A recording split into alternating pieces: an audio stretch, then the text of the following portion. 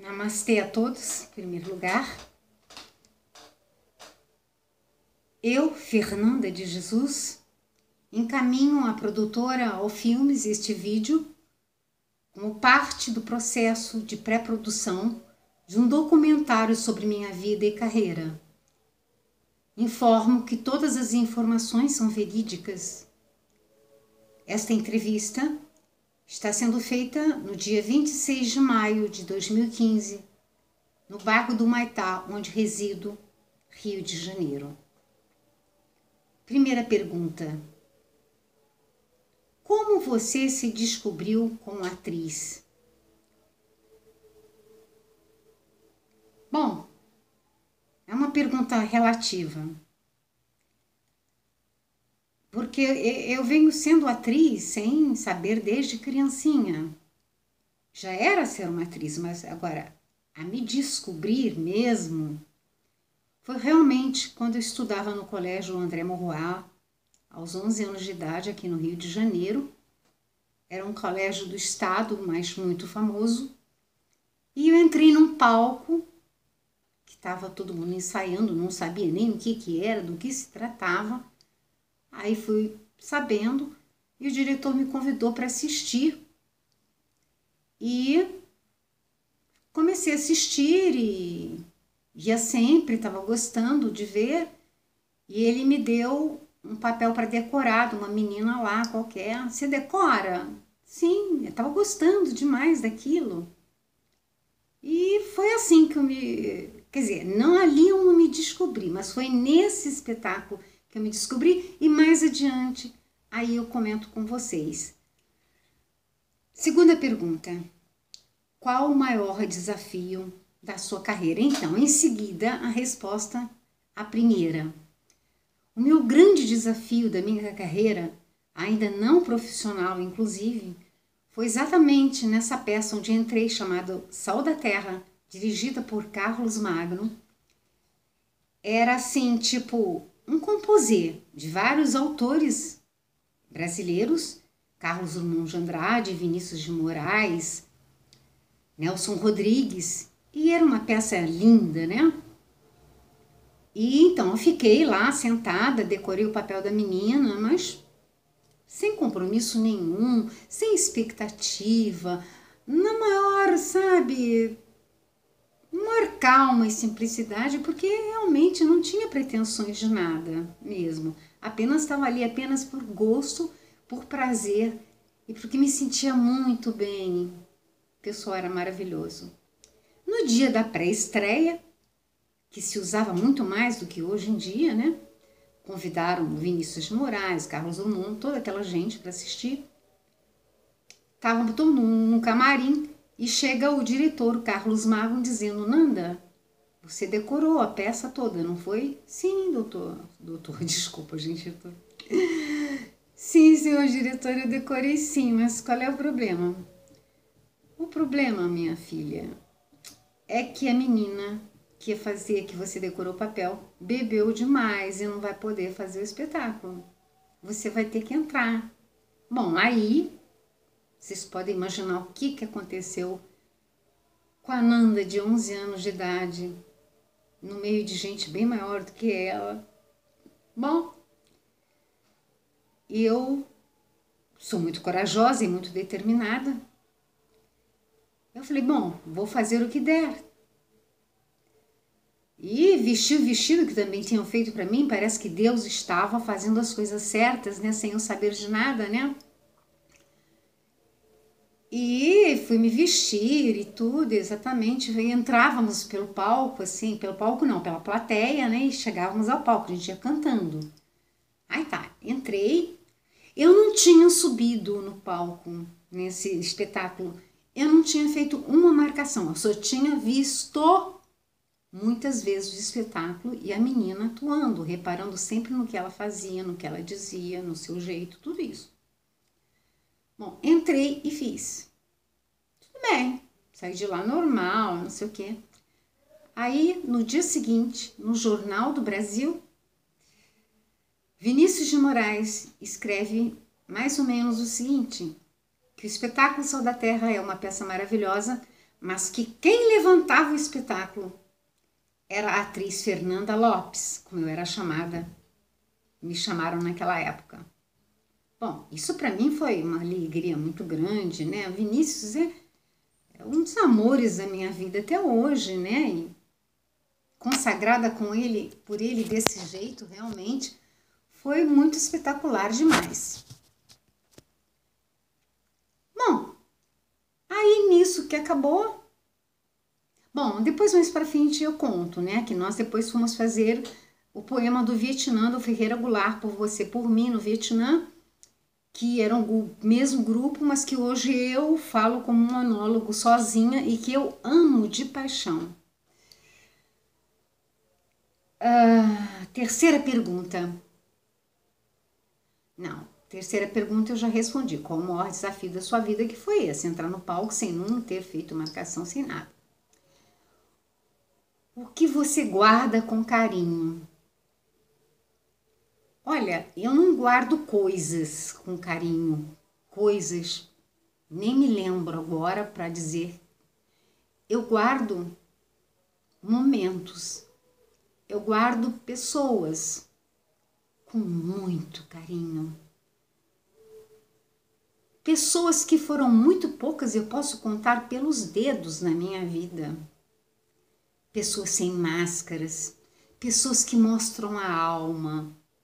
Essas pessoas eu guardo com muito carinho. E todas as pessoas também que me ajudaram, sem de uma certa forma, e, e eu cheguei onde eu cheguei por elas, sem elas mesmo saberem o que estavam fazendo e sem eu também saber onde eu ia chegar, mas elas me ajudaram e eu sempre menciono todas, desde a primeira até a última.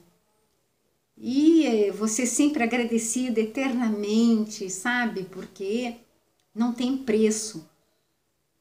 É, ano passado, retrasado, eu fiz o programa do da TV Caso, Manuel Lima, né? Que é é um escritor, diretor, ator maravilhoso, conhecido aí em São Paulo, que fez o Teatro do Cego do Nelson Rodrigues, está fazendo ainda, sempre está viajando. Gente, ele e a família dele são pessoas de uma nobreza, de um carinho, de uma. Gente, eu não tenho palavras. Não tenho palavras para descrever. E é isso que eu guardo comigo. São os momentos que eu passei na minha vida de gente que me deu amor, gente que veio, invadiu a minha alma, que me conheceu por dentro, gente que sabe quem eu sou. E são muito poucas as pessoas que sabem quem eu sou, quem é Ananda, porque nem até meus filhos, na verdade, sabem quem realmente é a mãe deles. Não sei por que isso acontece, mas, bom, é assim que é a vida, né? Ah, do que você não sente saudade. Gente, eu não sinto saudade. Realmente eu não sinto saudade da minha infância e da metade da minha juventude. Não sinto saudade. Foi uma infância cheia de tragédias, foi uma infância dolorida, foi uma infância de lágrimas, foi uma infância sufocada. Uma infância de solidão, onde eu fui deixada por meus pais, que vieram para o Brasil e eu fiquei em Portugal. E eu não guardo, eu não quero nem lembrar, porque eu tenho marcas desse, desse passado que foi muito triste. Não quero dizer que outras pessoas não tenham tido um muito mais triste, mas eu estou falando de mim, né? Eu, Fernanda.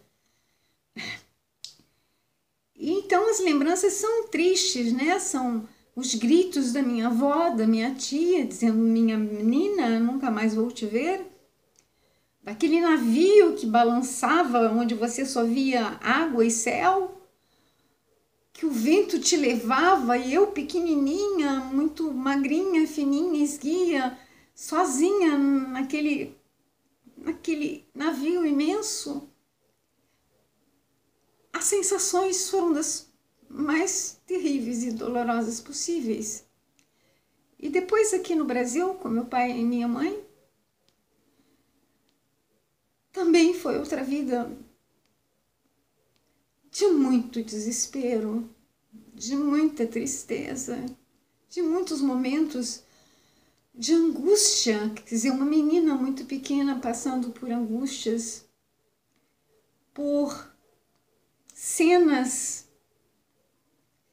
muito violentas entre pai e mãe, cenas violentíssimas. Ai, realmente eu não vou poder nunca sentir saudade. Foram coisas muito grandes. Pode ser que talvez na frente eu possa desenvolver isso, mas eu acho que por hoje, agora, já deu um pouco, né? Romances, propostas e afins. Romance, então, depois que eu fiz esse teatro amador, eu conheci no colégio um rapaz por quem eu me apaixonei e da parte dele foi verdadeiro também, foi um amor imenso, um amor daqueles de fita de cinema que não se vive mais. Por isso hoje em dia eu me falo assim, puxa, eu tô sozinha, mas eu já vivi o que muita gente não viveu e eu tenho que levar em conta isso. Foi um amor imenso, o homem com quem eu me casei, não tive filhos, e foi um casamento que durou apenas um ano e meio. E sofri durante cinco anos para esquecer esse homem. Depois eu tive outros namorados. Poucos eu posso contar nos dedos os amores da minha vida. Mas o importante mesmo foi esse. O segundo casamento, que é o pai dos meus filhos, já é uma outra história,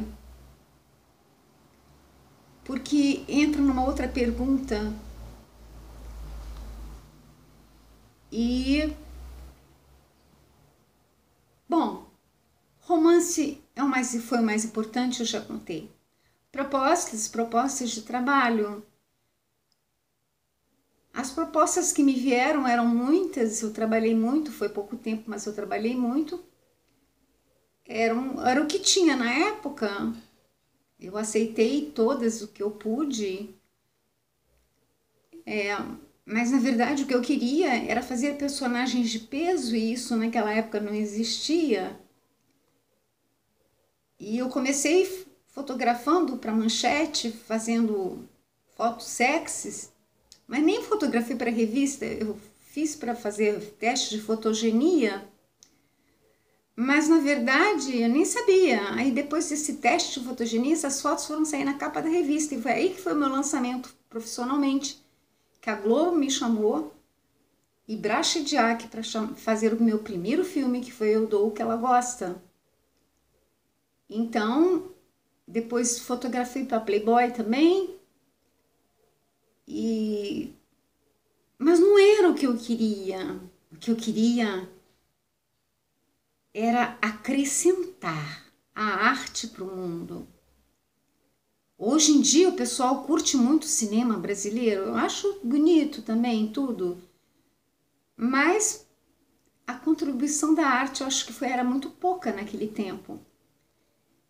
E isso foi também uma das causas que juntou com a outra pergunta que vai vir aqui, que ajudou, porque tá tudo muito intercalado uma na outra, uma na outra, outra na outra. Aqui essa tá, pergunta agora: por que você saiu do mundo do entretenimento? Esses foram um dos fatores.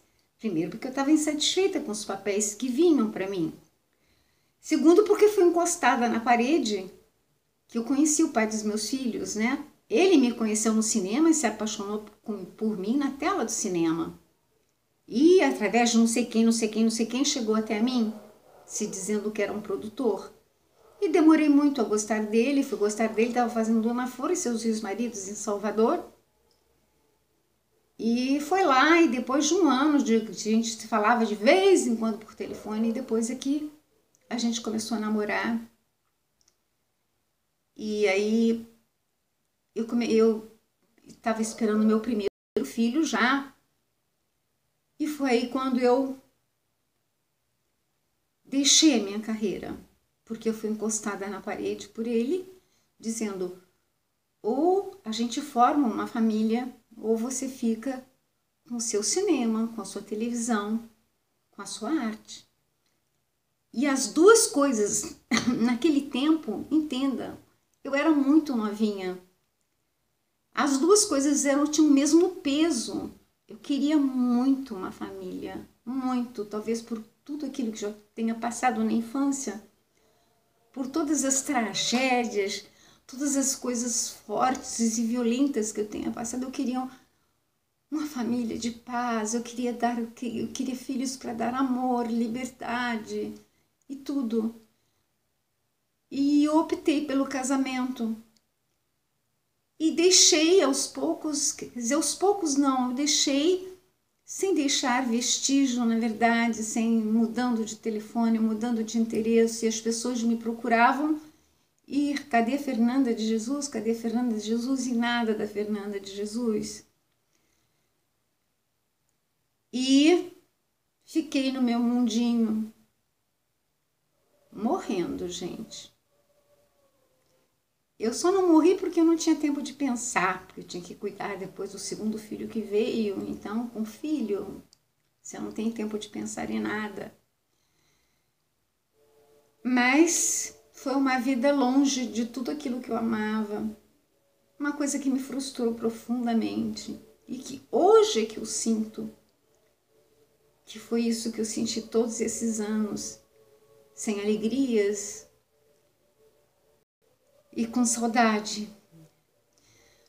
Agora vem a oitava pergunta. O que você espera do futuro para a vida e carreira?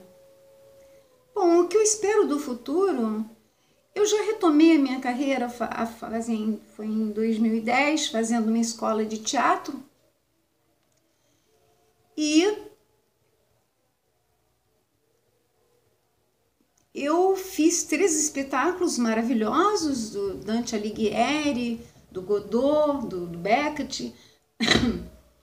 E bom, acontece que a firma também não deu certo, o diretor era, era maravilhoso, Jorge Farjala, quem eu devo muito também, porque quando eu soube e por um estímulo eu fui lá, fiz apenas uma leitura boba e ele disse: está aqui. E ali, eu, como disse na primeira pergunta, como você se descobriu como atriz? Eu fui me descobrindo aos poucos, até hoje eu me descubro como atriz, né? as pessoas fazem me descobrir cada vez mais como atriz. E eu fui muito feliz né, nessa, né, nessa escola de teatro, só que parou. E depois que parou, vieram propostas, vieram de filmes, e mas que não deram certo. E nada deu certo até agora. Então, o que eu espero do futuro para minha vida, minha carreira? Para minha carreira, eu espero retomar o lugar que eu deixei. Retomar o lugar que eu deixei, que eu acho que ele ainda existe, né? Acho que ele ainda existe. E eu sonho muito com isso, tá ligado à pergunta 9, com o que você sonha. Eu quero muito, sonho muito voltar aos palcos, sonho muito voltar a uma câmara de cinema, de televisão. É minha vida e agora o meu sonho é juntar tudo isso com a música.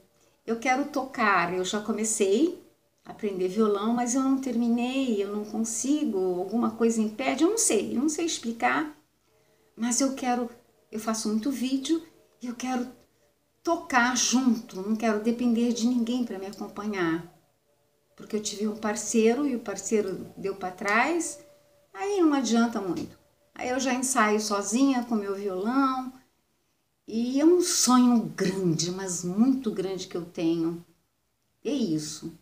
Então o que eu espero do meu futuro é voltar à minha arte, é contribuir cada vez mais com a arte para os amigos, para o povo, para os fãs.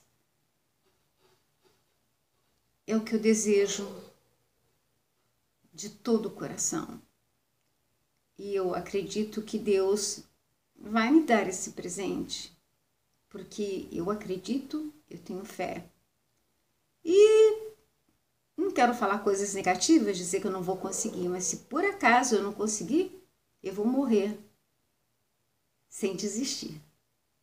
Procurando. Quem procura, acha. Namastê, meus amigos.